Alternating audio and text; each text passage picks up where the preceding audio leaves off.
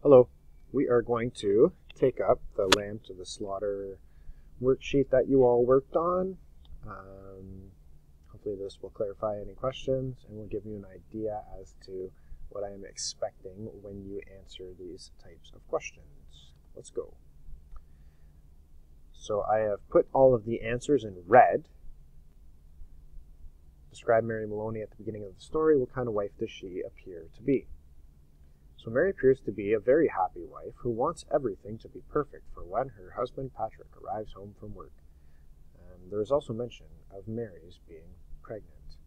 I am going to go ahead and pause this for a second. Okay, and we're back. I just wanted to be able to have the story open so I can show you where I'm finding these answers.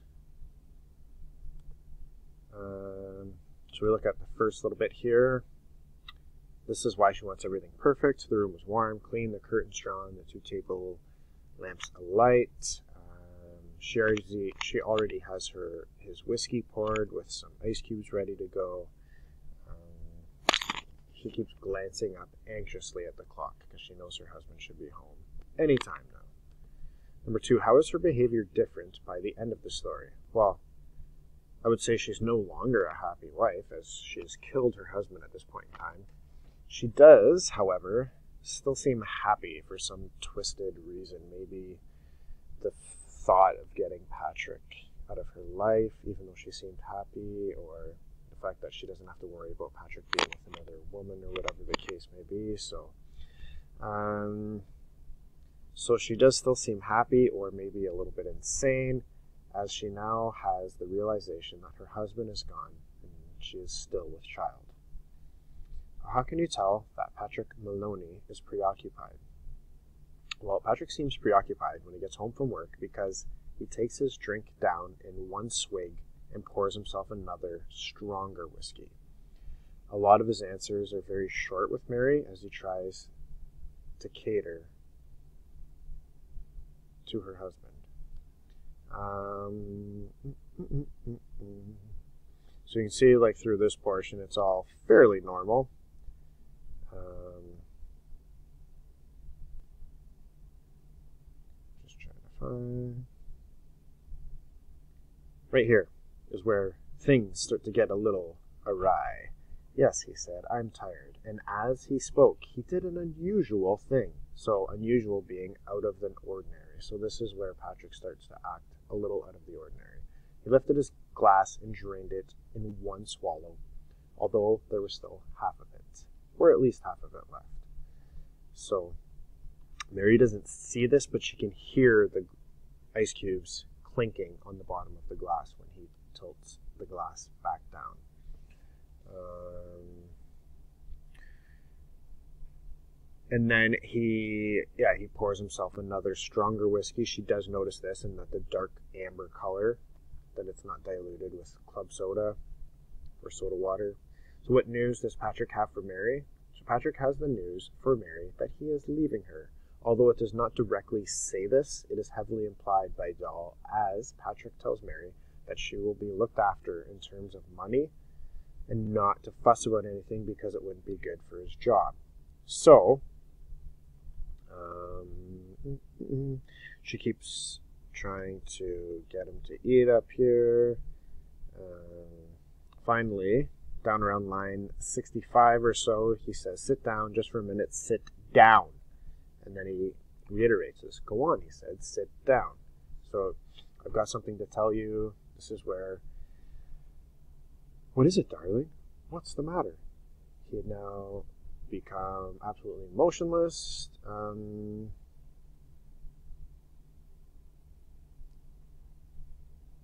here, and he told her. That's it right here. That's all we get about what he said to her. And he told her. We've got all this foreshadowing here. This is going to be a bit of a shock to you, I'm afraid, but I've thought about it a good deal and so forth. You know, that's a bit of foreshadowing. It's something bad. He's going to tell her something bad, but we don't get what is actually said to her.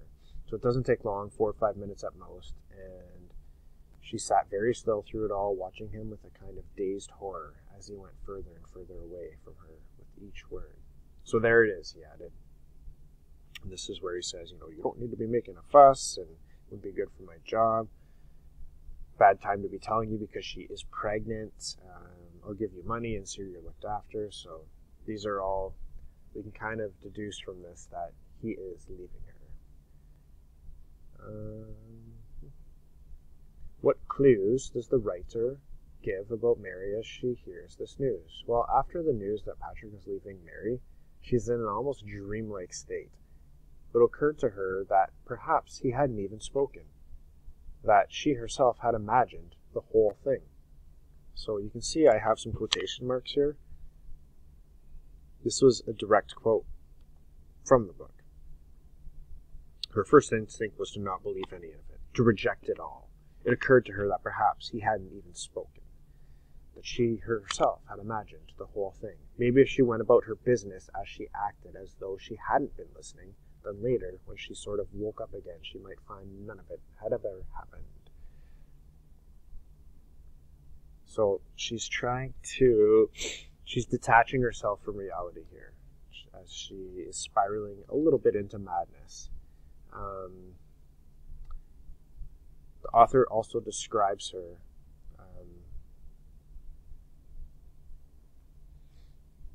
Uh, okay, so I think we she has heard the news, however, and it comes as such a shock to her that she pretends like she has not heard the news. So why does Mary go ahead and make supper after all? So Mary pretends like she just has not listened to the last four or five minutes of news from Patrick that he is leaving her. Instead, she tells him that she will go and get supper ready. And as she leaves the living room, her feet feel as light as feathers as she floats across the living room and out to the freezer. There is no mention of her not feeling anything. Oh, there is also mention of her not feeling anything, but a bit of nausea, saying that she doesn't really feel anything at all. So she is in a state of shock. Uh, what is Mary's first concern as she builds her alibi? So, Mary's first concern as she builds her alibi is that of her unborn child. She is concerned for the baby also, being the wife of a detective, she knows how important it is to have a solid alibi in what goes into a murder investigation. Um, so after this is where the, kind of like the turning point. For God's sake, he said, hearing her out, but not turning around. Don't make supper for me. I'm going out. At that point, she simply walks up behind him without any pause. She swung the big frozen leg lamb high in the air and brought it down as hard as she could on the back of his head. And then, uh, right here. All right, she told herself. So I've killed him. It was extraordinary, now, how clear her mind had become all of a sudden.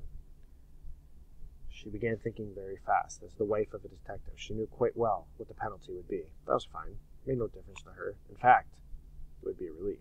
But on the other hand, what about the child? What were the laws about murderers with unborn children? Did they kill? That both mother and child, or did they wait until the 10th month? What did they do? So this is where she's thinking about building her alibi and she's thinking about her unborn child. Okay, how does the author use elements of surprise, foreshadowing, and irony in the story? One of the main elements of surprise is when Mary is unwrapping the leg of lamb and Patrick yells at her that he's going out and to quit making supper. She just casually walks over and smashes him over the head with the frozen leg of lamb the next line. So, I've killed him. The title itself leads to a bit of foreshadowing, as we have the idea that something bad might happen with slaughter in the title. And irony is presents presents itself throughout many aspects of the story. We'll discuss that when we look at the chart. Um, so the jigsaw. The correct order of this jigsaw is down here in red five, two, four, one, seven, eight, nine, three, six. Most of you got this either all correct or pretty close to correct. Um, what I did to come up with this is I just scanned through the story and you know, put everything in the right order. So that's um, what you got to do. Next, we're going to look at um, Here's the irony. So we did this one together as a class on Teams, the situational irony for the first one. So the second one's a little bit blurry. Eh? Sorry about that. Mary hits her husband over the head with a leg of lamb. This is an example of situational irony because you don't expect someone to commit murder with their dinner. the author describes how much Mary loves Patrick and how she enjoys taking care of him. This is like in the beginning of the story, and then after she hears the news that he's going to leave her, and she becomes in this dreamlike state, and then she smashes him over the head. So it's kind of like, what? Did that just happen? Uh, the next one, Mary seems totally normal and happy to the store clerk, but her husband is lying dead at home. So we have two types of irony here. We have dramatic irony and verbal irony. The reader knows Patrick is dead, but the store clerk does not. She murdered her husband, but acts normal. She lies. Um, the policemen assume a burglar entered the home and killed Patrick with a large wrench. This is dramatic irony. Police think a burglar killed Patrick, but we know it was Mary. Mary says it'd be a favor to me if you eat it up. She's referring to the leg lamp that she used to kill her husband. So we've got dramatic and verbal irony here. So in dramatic irony, the reader knows this is the wep- murder weapon. Verbal irony, she's lying. Needs the murder weapon gone. So uh, the police officer says, probably right under our very noses. What do you think, Jack? Referring to the weapon while eating the lamb. So dramatic because it is literally under their noses. It's they're eating it. And verbal irony because the officer is using a metaphor. So last thing we're going to look at is the Venn diagram for the Hitchcock movie versus the actual story. Some similarities, differences. You guys did very well on this. Um, you got the short story on the left hand side, similarities in the middle, and the movie on the right hand side. So, in the short story, she went to the basement for me. In the movie, Mary goes to the garage for me. So, just some differences like that. Um, the short story, she pours the drink, and he pours the drink in the movie. So she makes a big deal about the lamb in the oven. Um, oh, she talks more about. You get more information about the fact that she is pregnant in this um, in the movie. It's a lot more dramatic. Um, she gets ready for the grocery store in the short story, but here uh, in the movie, fills containers with sweets. She stages a crime scene. There's more like put into the crime scene, more into her alibi. So when she gets home from the store, it looks like the apartment's trashed or their house or whatever. Um, there's a lot more goes into the investigation. They're like drilling her on the couch while she's sitting there. Um, they're asking her a lot of questions,